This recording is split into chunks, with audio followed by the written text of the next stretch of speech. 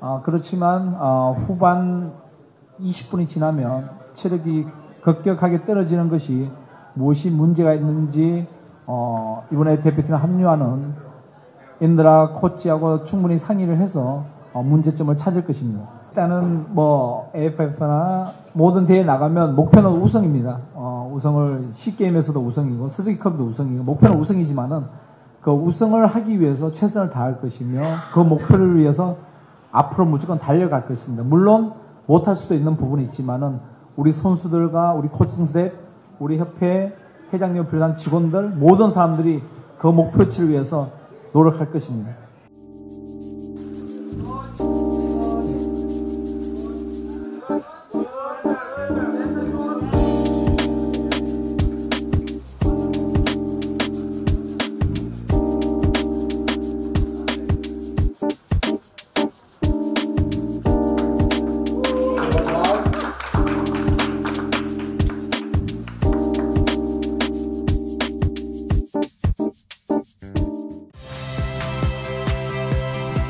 Saya Liviana Cerlisa. Saksikan program-program Kompas TV di siaran digital, pay TV, dan media streaming lainnya.